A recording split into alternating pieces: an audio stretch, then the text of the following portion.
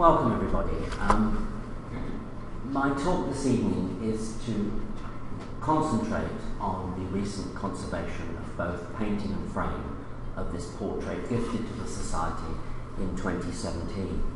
In October 2018, I gave a long 50 minute lecture, lunchtime lecture here on the portrait, such as we knew about it at that point, and that's still on our website if you want more information about the iconography, the historical de- detail, um, history of costume issues uh, about this um, picture. But I will resume in the first five to ten minutes some of the major things that um, I raised at that time. Um, here's the painting in a way before and after conservation. Now I'm showing you on the right there, and I will be showing you tonight my fairest pictures of it. Um, this is not, as it happens, the best time of day to see the picture on the stairs in this dark um, and artificial light. Do come during the day when the daylight comes through that top window and it will really um, sing to you more, much more emphatically. But you can immediately see here um, one aspect of restoration that had to be attended to this tear up here, which has now um, been repaired. This is the first old master picture um, to enter the Society's collection for more than a quarter of a century since Martin Folkes here, just to the right of the screen. Um, and therefore, it's um, a, a, moment of some significance for our collecting history. Uh, Charles Marsh was born in 1735. He was the son of a London bookseller. He went to Westminster School and uh, became clerk in the War Office after graduating from Trinity, Cambridge. Uh, he retired on a pension of £1,000 a year, large sum in, um, uh, at the time he uh, gave up his job, but um, somehow he had a huge fortune. It's not absolutely clear where all this money came from. Um, there's no will or inventory for him, but there is a declaration signed by his sister after his death in the National Archives, and there she attests to his estate worth £48,000. That excludes his properties.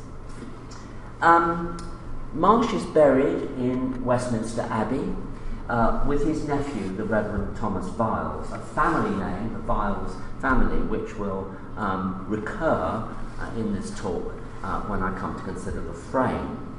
And we know from Thomas Viles' will that um, having um, um, provided for his wife, Louisa, and his three young sons, um, who were only to get £250 a year to see them through their education, he asked very specifically to be buried with his uncle um, in the Abbey's East Cloister.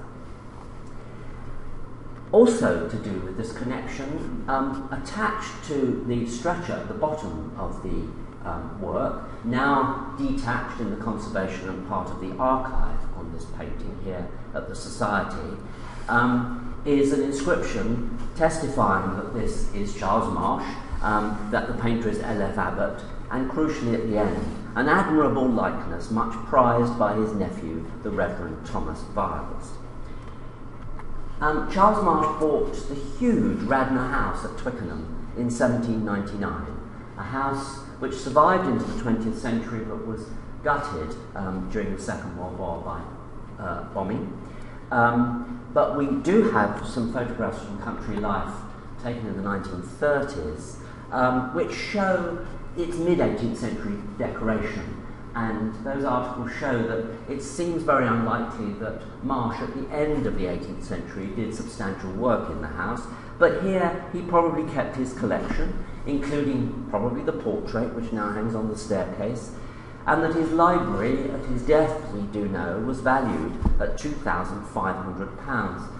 And that documentary record um, from the Declaration fills in the background to the local historians of the 19th century, historians of Richmond and Twickenham, who uh, say all the time that he was a very bookish man and he had a great book collection.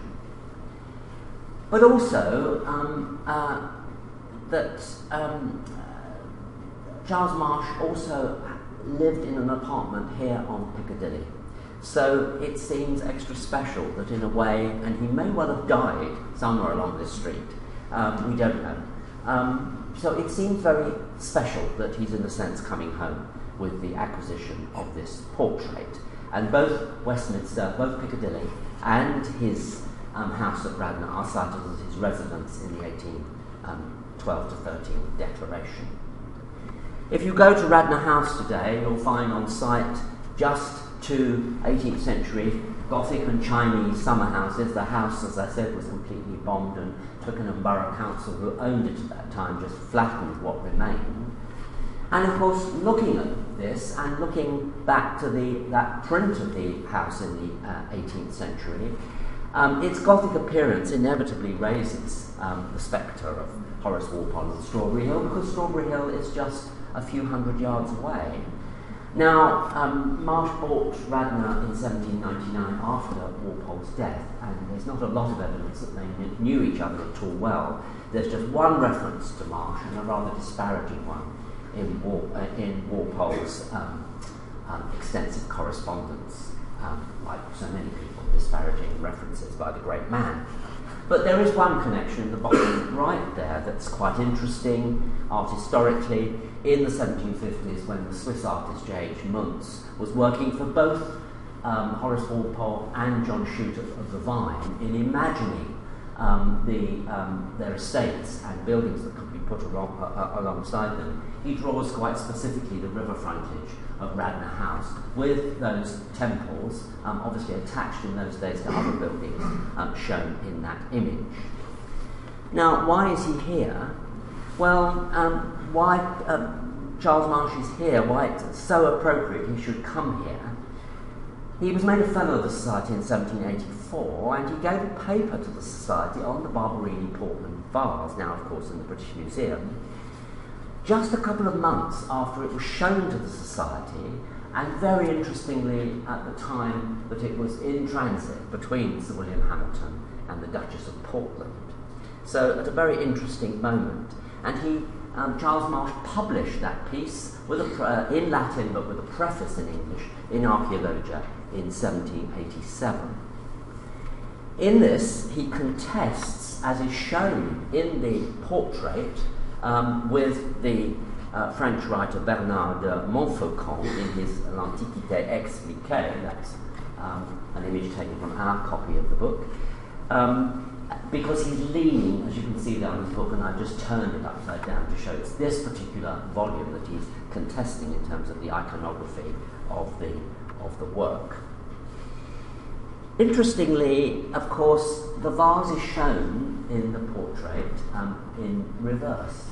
That's to say, it follows the print tradition of showing this picture, um, showing this, this um, work, um, the, the Portland vase, through things going back as far as um, Bartoli's image, uh, originally published in uh, 1697. We have here the 1704 edition in the library.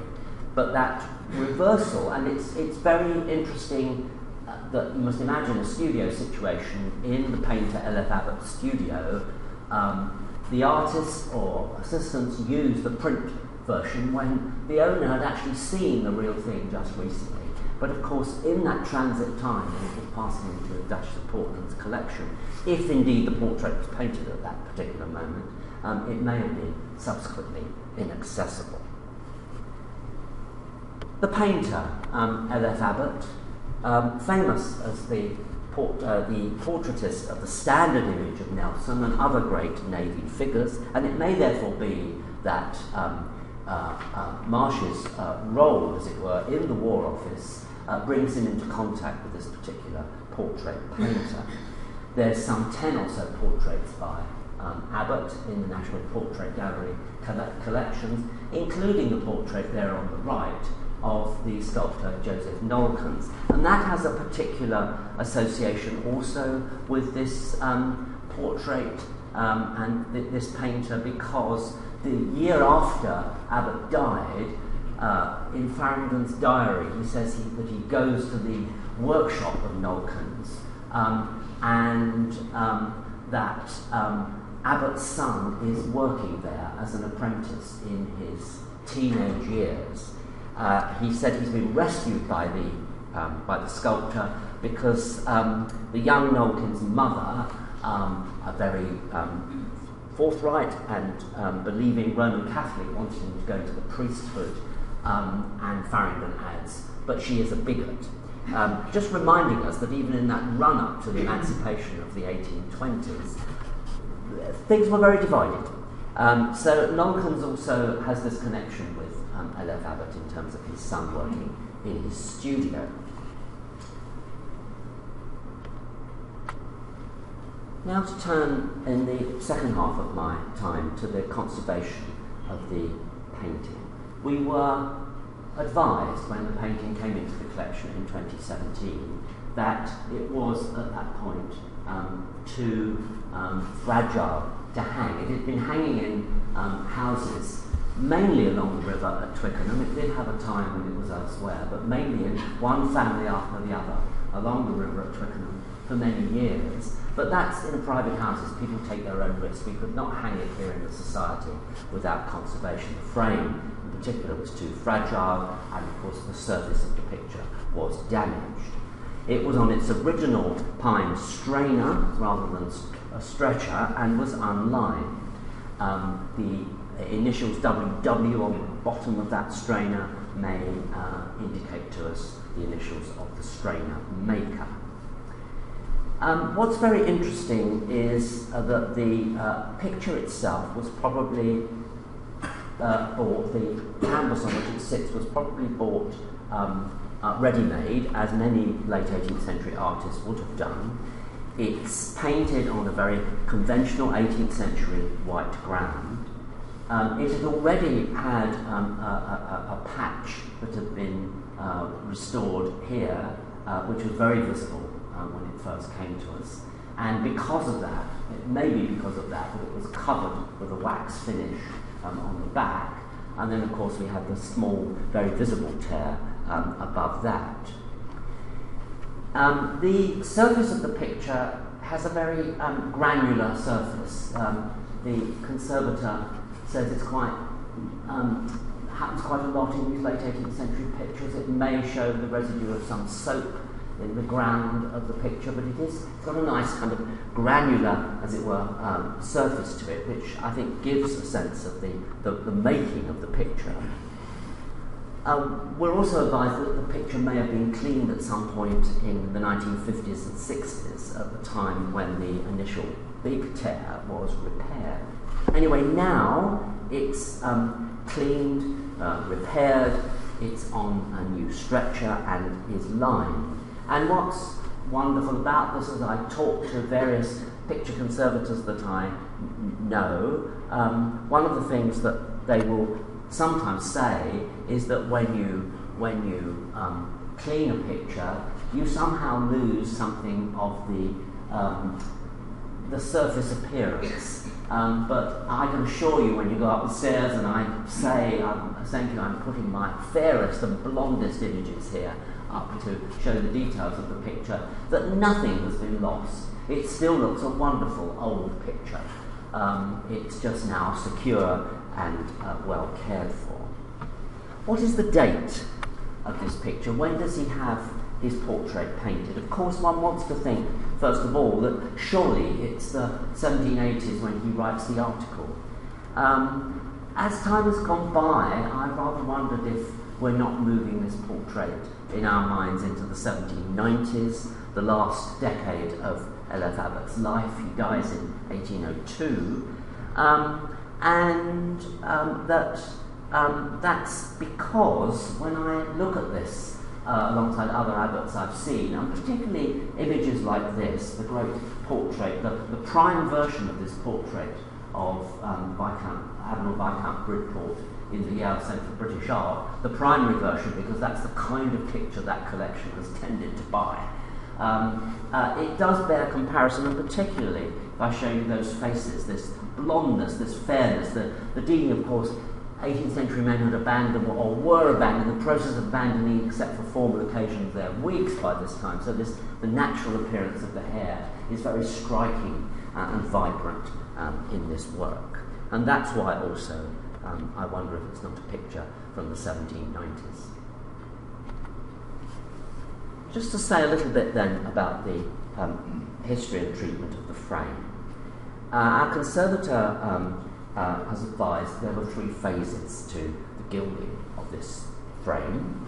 And this is where the name of Viles comes back in. As some of you may know, the Viles workshop was one of the most famous 18th century frame makers. They worked for Reynolds, some of his pictures at the Royal Academy next door were made by that workshop. Um, but uh, it's therefore tempting, but at the time in the 1780s and 90s, um, the work, the whole workshop had been left to Sarah Viles, the niece of Thomas Viles, um, nephew of, um, of Charles Marsh. And it's therefore tempting to think that she led the, the campaign in the workshop to get um, her uncle's uh, picture framed. But it does seem, we are advised, that this, this isn't a, a, a, a frame that's been made very specifically for this picture. The picture really is really is elbowing out and always has elbowed out its frame. The frame has been modified in order to um, bring this picture into line. So, an interesting family collection, possibly, but, um, in, and, and I would also argue for that in terms of the decoration of the frame. It is quite close to some of those frames made, made for famous uh, paintings by Reynolds. That the first campaign was a mauve coloured bole, um, and traces of this did appear in the conservation. And um, what you can see here is this very delicate colour with very, very fine gilding. As time went by, gilding got, um, um, what's the word to use, cruder, more um, speedily done um, in, in restor- restorative programs. So this very delicate gilding. And we were talking just the other day about thinking of these pictures being seen the late 18th century by candlelight, by the late 19th century, when other forms of light and gas and later are coming in. Um, uh, you, you, you, want things to have more bling and more splendour. So this very delicate um, candlelit effect on the original gilding. And then overlaying this, um, uh, not very long after, possibly within a generation or less, in the early 19th century, the paint there's an oil uh, gilded scheme um, on a yellow base uh, laid onto a gesso surface, and you can see that in the background behind the um, uh, the ornament here, and just some highlights of that scheme coming through the later final scheme. And it was that final scheme, the, 19, uh, the 19th century scheme, probably sometime from the 1860s onwards, um, that really was in, in very uh, poor condition. Um, much uh, fragmentation and cracking. Um, this is uh, where water gilding was used on the top and back edge of the profile and oil gilding elsewhere. So the original delicacy of that first phase of gilding when the portrait of Marsh was made um, is now long compromised, and um, we raise a large sum of money in order to have this work done. It would have taken much, much longer to try and get back to that original scheme. So the um, compromise is that the 19th century scheme of gilding is now expertly restored and will um, see this picture um, through for generations to come The picture looking now at the state of the back from its original deteriorated condition where it's been lined and placed on the stretcher. And finally, just to look again at the wonderful details of this picture, I, I, I, feel this picture is not only appropriate here because of the subject, but it is, it is a very fine late 18th century portrait. In fact, Lucy Peltz from the National Portrait Gallery, when she first saw it, said, Oh, it's too good to be by L.F. Abbott. But I think she was thinking of some of those in the portrait gallery and not some of his prime works like the one um, at Yale. Um, I think we have a very, very fine picture here. And um, one which we have various avenues of research we can now pursue through the archaeology and the history of the Portland vase, um, through the um, history of a man like Marsh and his role in government in the late 18th century, and also, very much, I think, interesting for our times, L.F. Abbott died uh, committed to a mental asylum. And I think our current interest in that history of health and creativity in the arts um, in, uh, with, for people who um, are battling serious mental and physical health issues means that we can explore too uh, things about that artist's um, uh, last decade. And finally, my thanks here listed down to the last uh, ones which I really must mention um, our donors who contributed to the project for conservation, without whom we could never have accepted or hung this picture. And finally, to my friend Sheila Lockhart, whom I persuaded to give this picture to the Society because it was right, and it's very much in memory of her um, uh, late brother, Simon Orford, who would have been a fellow of this Society um, and amongst us had he lived. Thank you very much.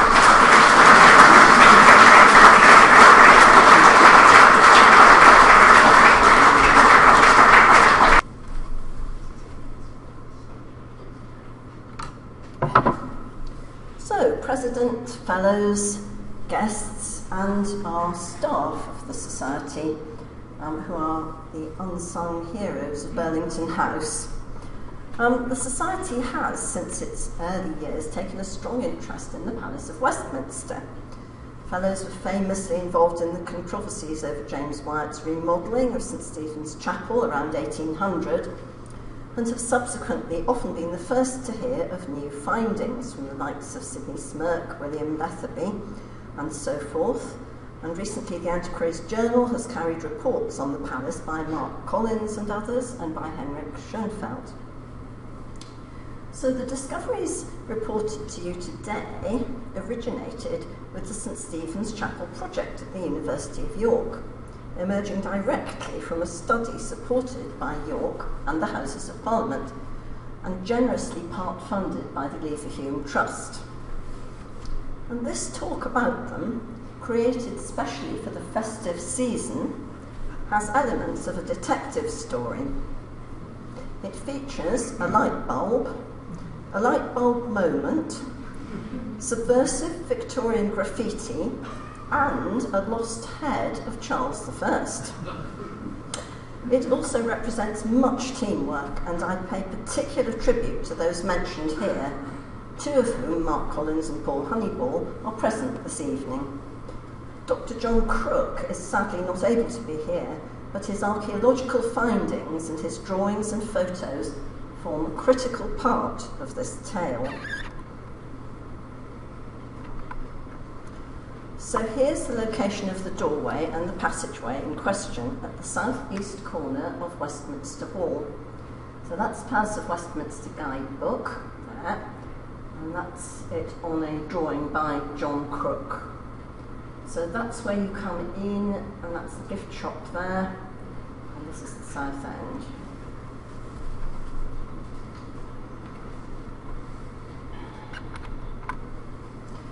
So the former entrance, which is the lost Tudor doorway in question, it's marked in the hall by a bronze plaque of 1895. It's just there. Um, this informs posterity that an archway here served as the main entrance to the House of Commons from 1547 to 1680. Can those of you at the back view this um, writing? Does go on at length, um, but it's actually largely unnoticed by the public. And as far as I can tell, academics and a few insiders have long been aware of the doorway and passageway through the wall of the hall, but they believed that the space within the wall was wholly sealed up and inaccessible. Some have also questioned the precise dates given on the plaque. As the passageway appears in 18th century plans, it was clearly not blocked off in 1680. Similarly, 1547 was thought to be a bit too early for its creation, but the consensus was that a date of around 1600 seemed the most probable moment for when it was um, cut through the wall, and thus it features on an important academic reconstruction of the layout of this part of the old palace in about 1640. So the passageway joined Westminster Hall with the west range of St Stephen's Tudor cloisters, built circa 1550 to 1515 to 27, and hugely admired by generations of antiquaries, if not, unfortunately, by their actual occupants. um, some of whom in the mid 20th century described them as the Gothic slum. After several centuries of misuse, these were restored by Charles Barry after the 1834 fire. And most recently, they've been used as the MP's cloakroom from 1852 to 1967. So there they are set up as a cloakroom. And then as offices from 1967 to 2017. They're currently empty and awaiting restoration.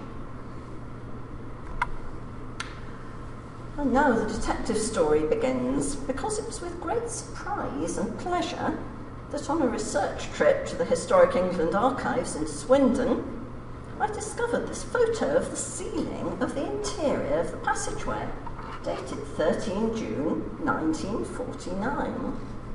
I wondered how we would ever be able to get into this space and I asked Dr. Collins if I could take a pneumatic drill into the cloisters, and I was not surprisingly turned down.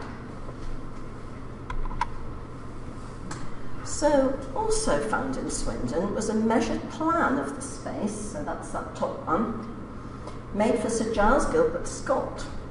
It became clear that his workmen had rediscovered the passageway when restoring the war damaged cloisters. Um, the, the restoration was between 1948 and 1952. Now, the damage here had resulted from a high explosive bomb in 1940, which had sadly destroyed the eastern and southern ranges. Now, the west cloister also suffered. Our passageway lies behind here, that's the second bay um, along. Um, but like the rest of this range, it remained intact. See, it was in very, very badly, in very, very bad condition. It was heavily restored after the war. Um, we know that Scott had walled the space up again by 1952. Then we noticed in a TNA file that he'd considered leaving a small gap in the cloister side's wall, which would be covered by a hinged panel giving access within his new cloakroom furniture. Was the panel there? Yes, it was. There it is. In December 2018, a tiny and inconspicuous keyhole was found in Scott's cloakroom fittings in the correct bay. The parliamentary locksmith opened it and pulled back the hinged access panel enabling Mark Collins to clamber in into the hidden passageway. And here's some photos of the inside. Now, two former parliamentary staff with very long experience and deep knowledge of the building knew nothing of the appearance of the space or of the access panel. And we believe that we were the first people to go in there for several decades and quite possibly since about 1952. Clearly, all knowledge of the panel and passageway had been lost in the intervening years. I think that the Labour MPs who'd had their desks just next door to this um, during the 1970s and 1980s would have been extremely surprised had they known about it. Well, what did we find in there? Well, it has to be said that at first sight this is a rather unassuming spot, but it is full of interest. So, some key features its complex masonry, many exposed brickwork and plaster from several different eras. These have been recorded and investigated by John Crook. The doorway, the door case and soffits of the great doorway, there. Um, four iron pintles for the two doors, one shown here. On the floor are Purbeck flagstones, which are worn at the centre, which is rather thrilling. There's also some graffiti by masons from the 19th and 20th centuries, written in pencil on mid 19th century plaster. So the one pictured here reads 1950, Alex Leaper, Mason, Stonehaven. he was clearly one of Giles Gilbert Scott's workers, Um, he is to be found in the electoral registers for 1950 and 1951, living at 33 Millbank. His family came from Perth and Kinross, that's obviously the same chap. And finally, and very remarkably, a still functioning Osram light bulb of what I believe to be a, a 1950s, early 1950s style with electrical wiring and a switch of the same period, which immediately sprang into life. Although the light bulb has now sadly been retired for health and safety reasons.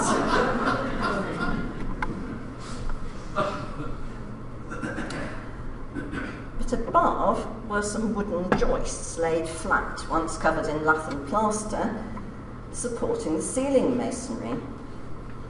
Then, in October 2019, so this is not long ago, in fact, it was after I'd put forward this talk to the Society, the timbers of the joists were isotope dated by Dr. Dan Miles of the Ox- Oxford Dendrochronology Laboratory to spring 1659. Now, this was an immense surprise to us. it caused us to question all our previous assumptions about the dating of the doorway and the passageway, which had been based broadly around the, data, the dates on the plaque. There are also major implications here for the layout of the area around St Stephen's Chapel in the 16th and the first half of the 17th centuries. So we revisited all relevant building accounts, plans, and drawings.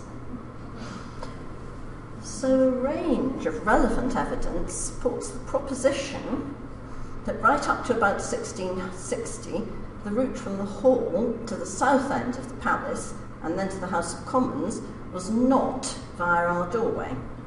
Instead, it seems to have remained via the medieval door on the south wall of Westminster Hall.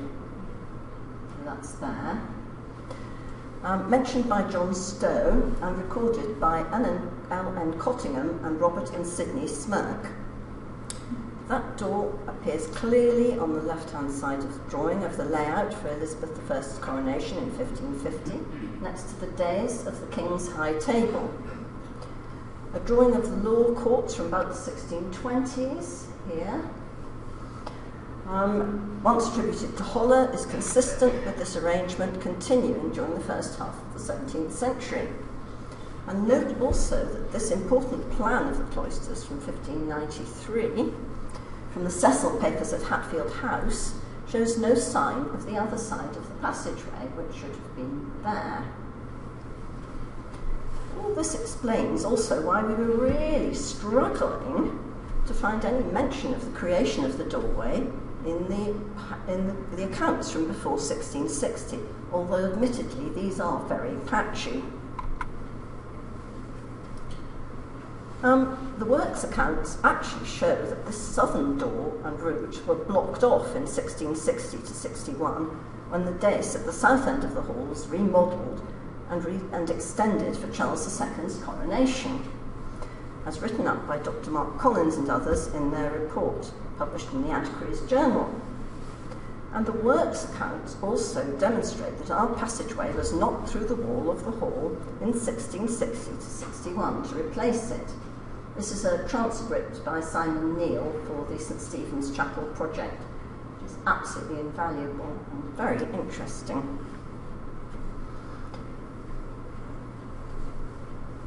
Now, this is the absolute clincher because John Crook is confident that the dimensions given in the accounts match exactly those of our doorway and passageway.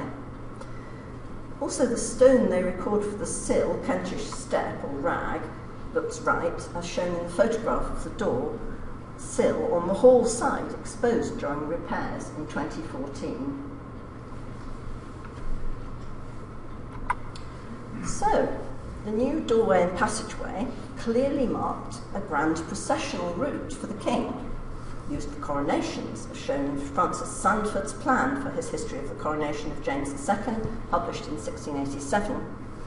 This was also the main way to the House of Commons and for a while to the south end of the palace. As noted in the accounts, a head of Charles I was above the doorway. at first in a cartouche. In 1704, it was replaced by a bust of the king, as shown here.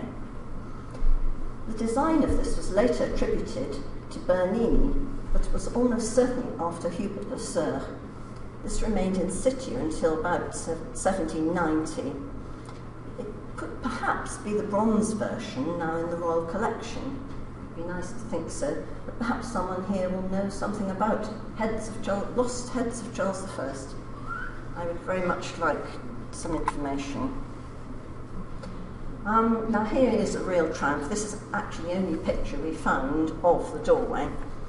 Um, in a print in Brit- Britannica Illustrata of 1727, where it's described down here as the entrance of the House of Commons. The inset is a rectified version made by John Crook, So there it is.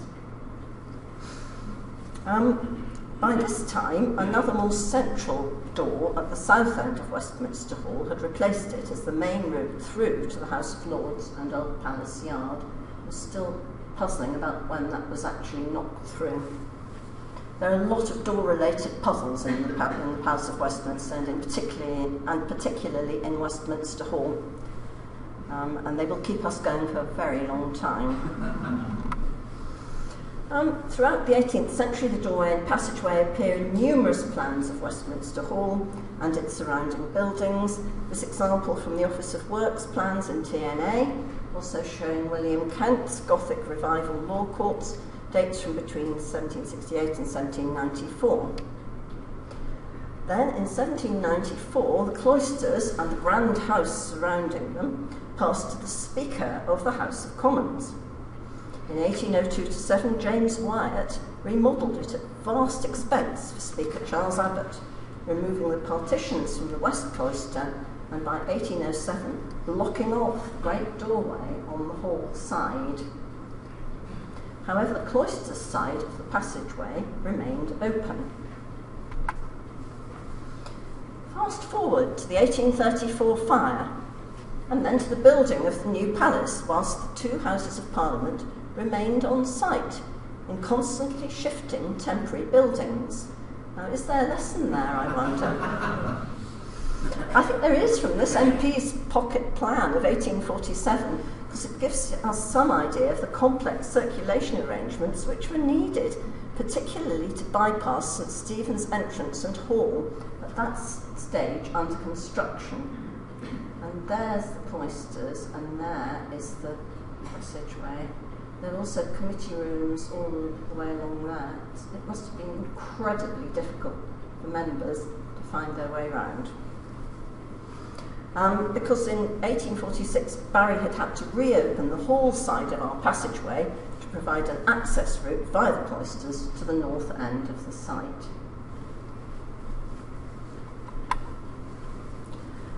But finally, in 1851, the passageway was walled in on both sides when Barry was restoring and remodelling the cloisters.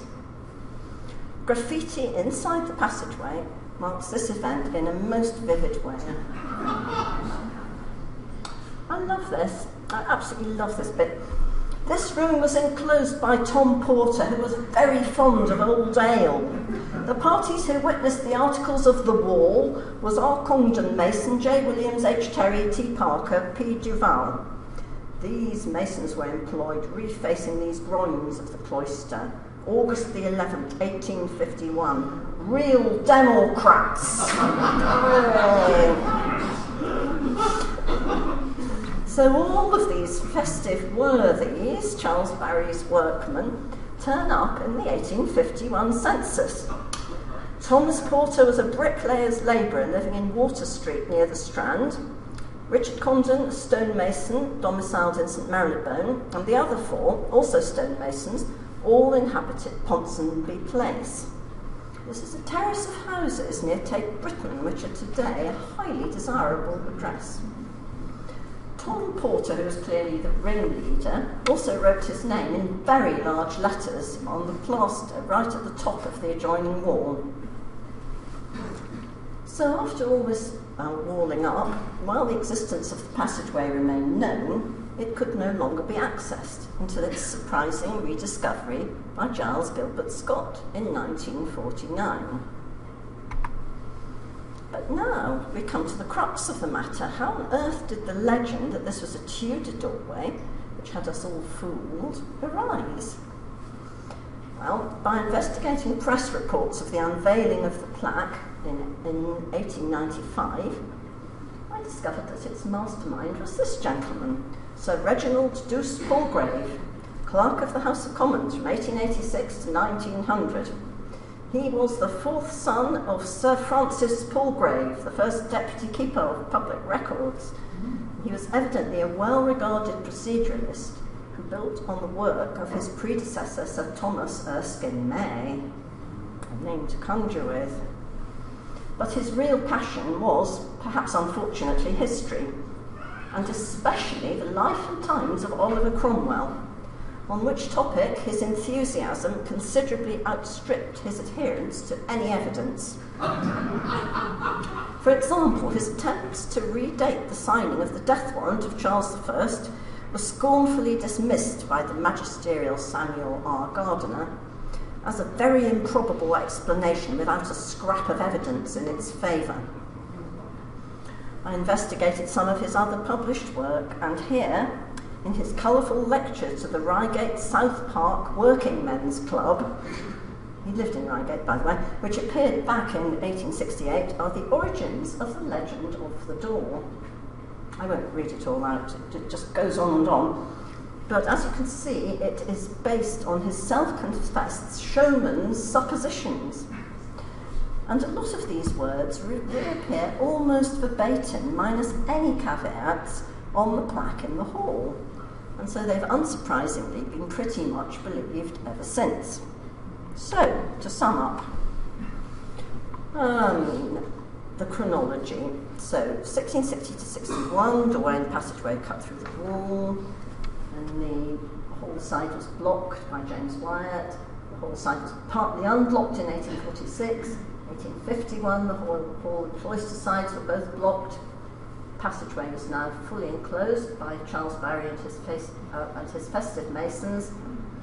And here we are, 1895, the plaque marked its location and wove the story about it, subsequently broadly accepted. Then in 1949, the passageway was rediscovered by Sir Giles Gilbert Scott's workmen. They're actually putting in a ventilation system when they found the passageway. Um, it was recorded and sealed up again, apart from the access panel. The existence of the access panel was subsequently, we think, forgotten, and the passageway was little known. But finally, in 2018, the passageway was rediscovered and accessed once more. Infinite is the variety of fame and name with which the doorway may be coupled. Declared Sir Reginald Douce Palgrave to the working men of Reigate. now, I have to admit, this does very considerably overstate the case, but I hope I've convinced you all that the Palace of Westminster still has some intriguing secrets to give up and also that a light bulb moment can be literal as well as figurative. Thank you.